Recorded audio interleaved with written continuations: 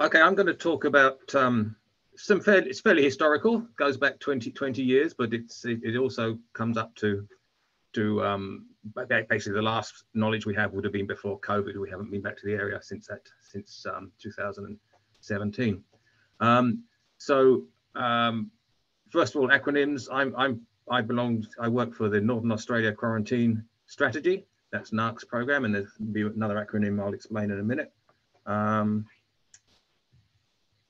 so going back way back in history, um, there was a time when the our, our organization NAQS used to do surveys with the Indonesian quarantine authorities in the 1990s, and so the first um, the, the, the, first um, records of this pathosystem, this disease, and this insect date back to um, the first record was from 1990 of, of the psyllid, and that wasn't actually uh, NAQS and Indonesian quarantine. That was an independent survey, but then and where the psyllid was found right at the east of the country in Sorong.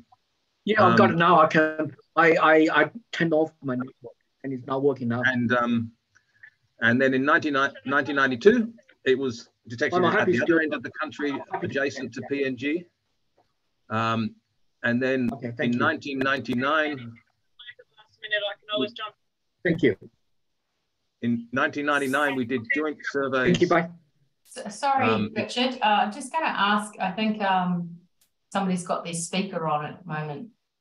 Uh, so if you could just make sure, I think it's Genoa, you've got your speaker on perhaps. I'll just check. So Richard, sorry, I didn't want to interrupt you, but go for it. Yeah, it's all right. So we did we did a full survey in 97 and 99 and we found the, the disease in um, in two locations at the east and the and the west of the of what was then known as Irian Jaya. Now it's Papua and West Papua provinces of the Indonesian part of the island of New Guinea. And it's very important here to emphasize the difference between the two, the two halves of this island. So on the Indonesian side, there is a huge population of people. There's very intensive agricultural production. There's a lot of infrastructure. There's roads everywhere, and it's it's a, a very very much like South any, any other Southeast Asian country. And on the PNG side of the border, it's a totally different story, especially adjacent to the border. Um, there's shifting cultivation, slash and burn agriculture, um, much lower population and vast vast areas uh, of, of, of basically land where there's just just um, uh, villages here and there and not a high population and that that's very significant um, to the rest of this story I guess and also um, there's no really there's no huge citrus industry in PNG there's small orchards can be found here and there providing uh, supplying local markets but there's no sort of great large export industry or anything like that. It's um, citrus to PNG is very much a backyard nutrition issue um, and, and sort of low level production. The PNG Indonesia border runs right from the top of the island to the bottom.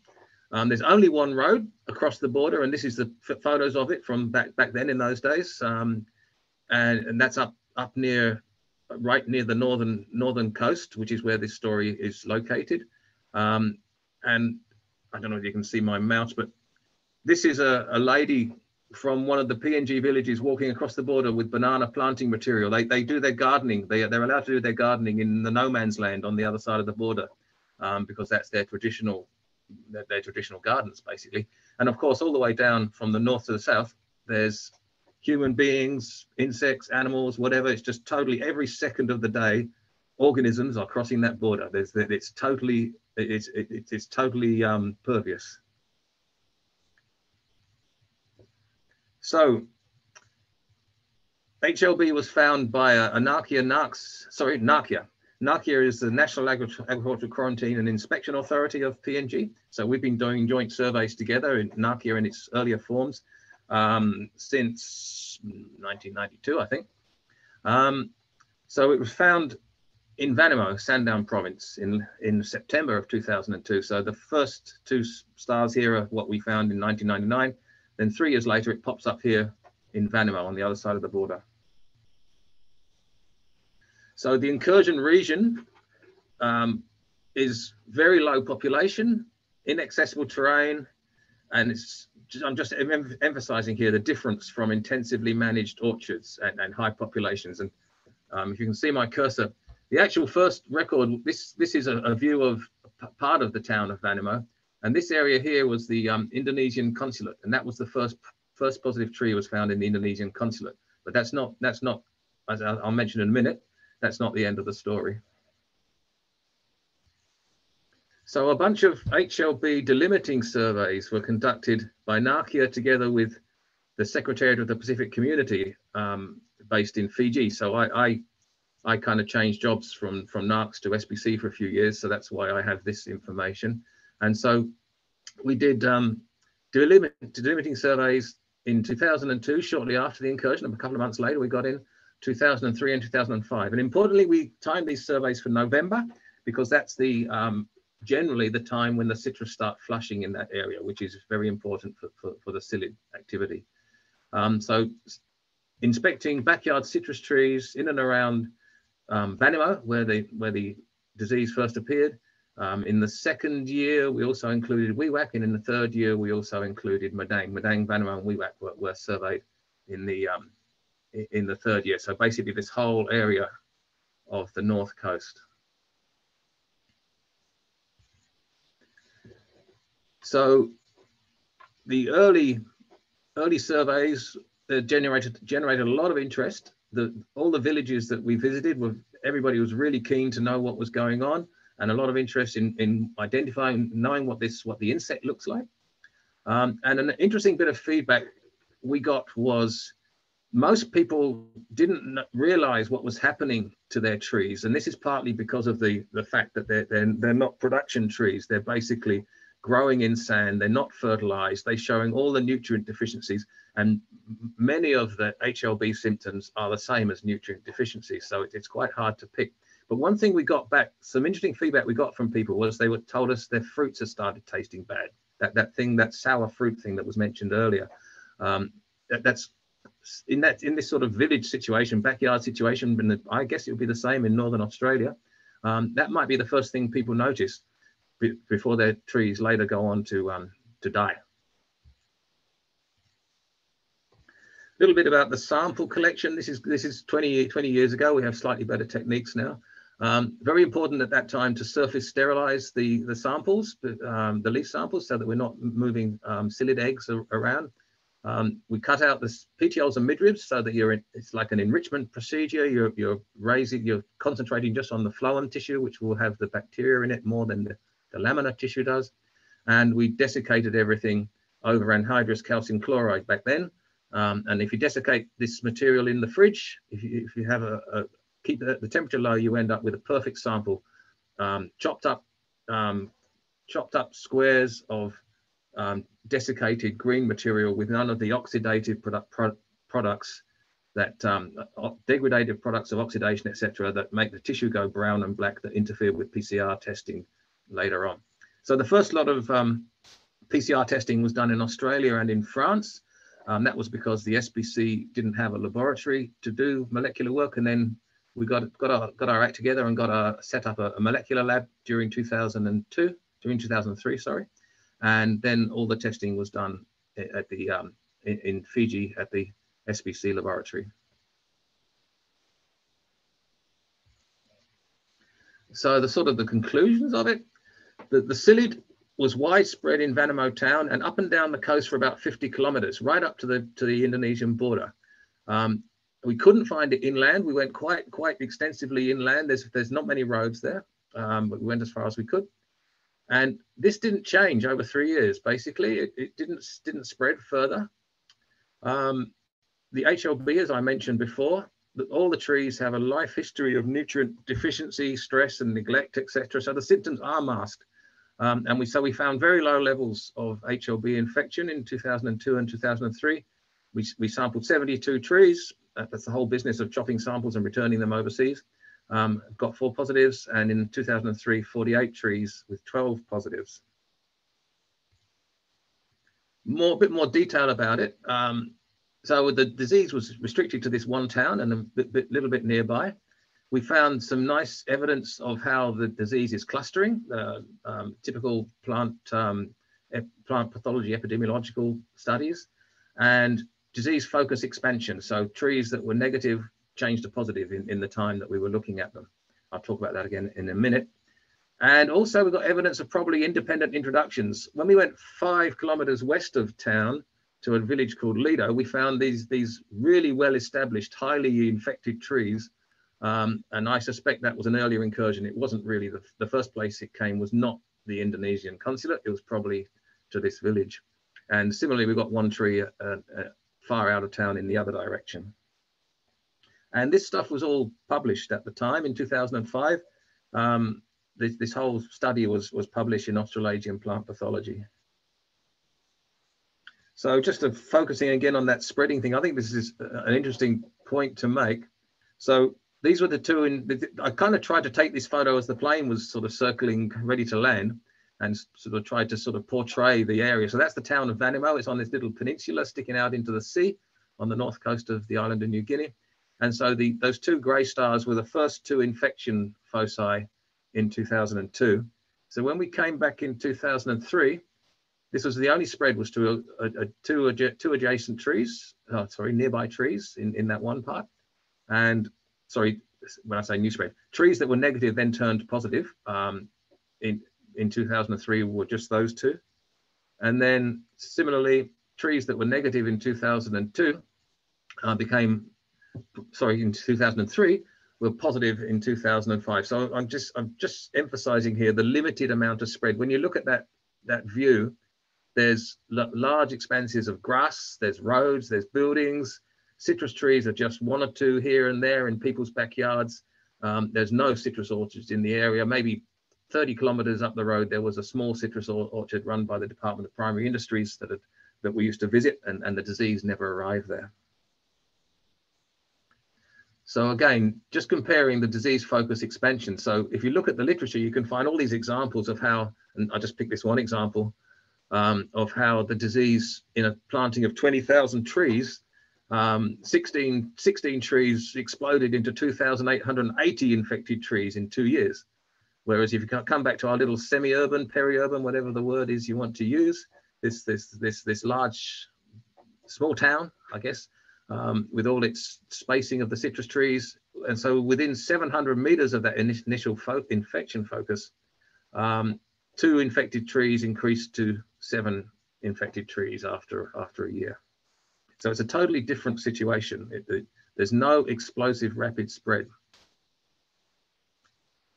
So the, the there's a lot of um, uh, debate about what to do next at this time.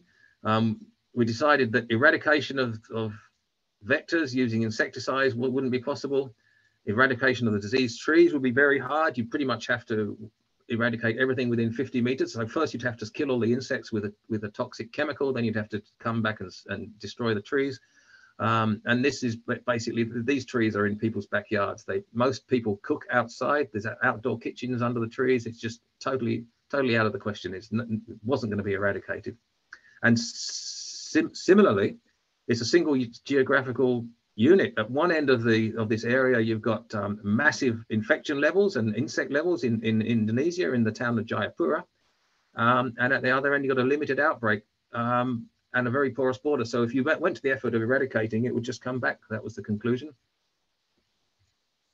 So instead of the, so the response strategy was instead of a, a designing some sort of local control uh, method, you reducing sources of inoculum, um, the government of PNG went for an overall na national campaign of quarantining the region. Um, and since most of the spread was in infected or in infested infected plants, um, there was some really lucky things here that helped. Um, that they immediately gazetted some laws and made some restrictions on movements of plants. And a, ve a, very important thing is that marcotting is not part of the culture. People don't marcot in PNG. It's, it's just not done. Um, and the other good thing that helped out, there's no decent roads out of that area. If there's one road is open for a few months in the dry season, but apart from that, it's only by plane and, and by sea. And just as a, an aside here, this the photograph of this tree, um, we, it was full of leaves and providing shade and fruit and whatnot in 2003 when we tested it positive. And by 2009, it looked like this just emphasizing what a bad disease this is. So what the government did, what NAQIA instituted at the time was a, an awareness campaign with things like posters all over the place. We did some radio broadcasts. Um, this is a very popular thing in PNG to do this sort of public speaking thing. So we, we went around with the, the loudspeaker and talked to people, etc. And this had a very good response at the time. And it was, again, all about um, encouraging backyard nutrition, not about protecting a big industry. And so this is the, the, the bit that I think is particularly, um, makes this situation particularly unique um, in the world. This is the only place that I know of where I think this the, the disease and the insect have fizzled out. They have not exploded and, and spread across the whole country and not become a major epidemic. So um, after that period of the delimiting surveys, um, and NAQS continue to do its usual work, which is not just citrus trees, but general plant health surveillance near the border. And so in 2009, the levels of the disease were, were going down. Only eight psyllids were collected, one tree out, of 20 was positive. In 2012, we couldn't find any psyllids and we couldn't find any disease. And in 2016, we returned again for one of our regular surveys, a couple of positive trees um, and a small number of psyllids. But the interesting thing is some of them were mummified nymphs with um, the, the biocontrol um, agent. And these were found on, on, again on the curry leaf and the mock orange, Murraya paniculata and Bergera koenigii. And meanwhile, um, we have good evidence that this thing is not widespread across PNG. Every time we see a suspicious leaf tree, we sample it, and then that and those samples have built up to 107 individual HLB tests um, by 2021. So the parasitoid finding was followed up immediately the next year with a special trip. Um, and as mentioned before, um, the two, two most well-known parasitoids, um, they have different exit strategies or whatever. So from we went back to that original tree, the one that the nymphs came from, in, just in somebody's front yard in Vanimo town, and 40 nymphs were collected from the same tree. 15 had the exit holes in the abdomen, and 13 were obviously parasitized. And the conclusion is it's most likely to be that um, that second insect, insect the um, Diaphorencyrtus aligarhensis. Sorry, I'm not an entomologist. I got all this information from our entomologists. Um, so the interesting thing is in 20 years, how did we get from this, that's a sweep net full of psyllids from 2003 or two or whatever, to this, that's a bunch of really excited entomologists who found a tree with psyllids on it. They state, you imagine you come to Vanimo and you spend a few days and you can only find one tree with a few psyllids on it. That is, that is an amazing transformation. And I think that's the key to why this disease hasn't spread.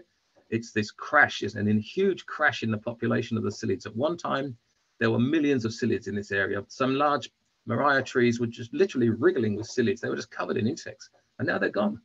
So what's what's the reason for this? There's probably more questions than answers here. The parasitoids, maybe obviously something to investigate further. Just the peri-urban disease epidemiology, this whole thing of how a disease spreads, you know, through a town as opposed to across an orchard. And an interesting thing was thrown up um, by entomologists here in Australia when we sort of spoke to them about it is perhaps um, there could be a role of this this the green tree ant. Um, we call it green tree ant in Australia. Other names are weaver ant, golden weaver ant, yellow tree ant. Um, this thing has done has has been used traditionally in in um, biocontrol for centuries in, in in China and other places apparently. So that's it. Just a list of the names of the people who were involved back in those the old days, right up to more recently, from both PNG's National Agricultural Quarantine Inspection Authority and us in NAQS. And mentioned that the money, that the SPC money came from the European Union, and um, our NAQS money um, comes from another part of our department, the International Plant Health Surveillance Program. Thank you. Thanks very much, Richard, and uh, that's very interesting. And that is did actually actually leave on a brighter note, I thought. Uh, even if we don't know quite uh, what the reason is for this sort of population, I guess, decline, uh, it's still very interesting uh, and could hold some promise as well. But I think that's an interesting point around commercial versus maybe backyard growing as well. So if there's anyone in the audience who've had experience with that as well, it'd be interesting to hear your thoughts on whether, I guess, Richard, whether it somehow spreads faster or uh, transmission is, is much quicker across a commercial crop. Um, we gave that example before. What just just on your work in Papua New Guinea, what was the sort of hardest thing? Because um, there was quite a lot of success and positive stories there. But what was the hardest thing in um, this work and sort of looking at how to manage it and how to monitor uh, HLB and, and the psyllid? I think the hardest thing was just the remoteness of that area.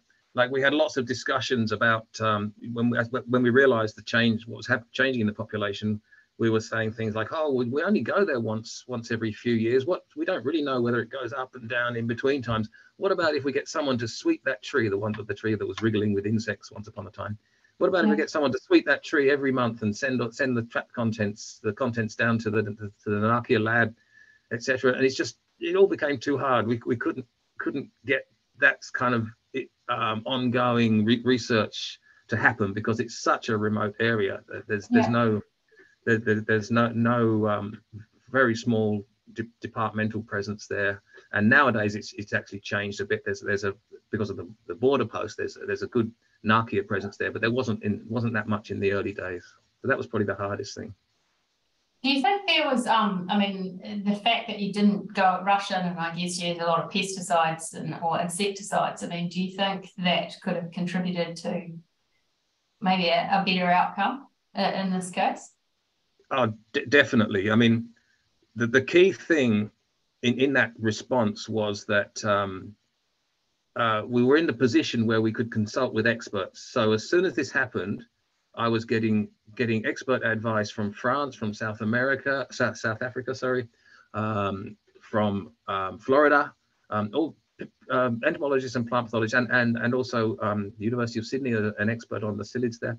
So we consulted with them and said, look, what what the hell can we do that, that's going to work here? And we even discussed things like um, uh, uh, oil sprays as a way of, of killing the insects without spreading poisons across the town.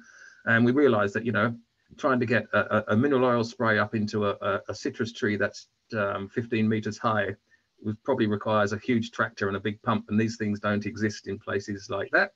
Um, yeah. And and it, and it was it was timely because the the author the NAQIA authorities, the upper management, they were they were all leafing through chainsaw chainsaw catalogs. They were all everybody was dying to get dying to get in there and do a good eradication. So it was it was great that we got this expert advice from outside um, and said, no, we calm down, we can't do that. Let's take it this way instead. And and yeah, I think it's it's a great story because it seems to have worked quite well. Yeah, no, definitely. And uh, I guess just on that, sort of whether there's a parasitoid there or some beneficials that are that are working well. What's do you know? Is there any further work that's looking at that specifically? Is there a specific project that's uh, you know focusing on that as a potential yeah, I guess um, we were discussing this with our, our, my entomology colleagues just just yesterday, really about this. We we didn't get much further than that tentative identification um, because the um, better quality samples are needed. And yeah. so I think at, at, the moment, since we haven't been there for six years, um, I think it's it's a situation that's crying out for a bit of a resampling, a reinvestigation, um, a, a, a, a, visit yeah. Um, by somebody, a group of entomologists and plant pathologists um, to try and follow it up. Sounds good. That's it, and it's a great note to, to leave on. And um, if you can uh, stick around, uh, Richard, uh, that would be great. We, would appreciate you staying uh, if you have the, the time, and uh, we may have some questions at the end. Um, but thank you so much uh, for coming today and, and presenting, and it's it's really exciting to see a really positive story as well about um, the management and, and what can be done. So thank you very much, Richard. Thank you.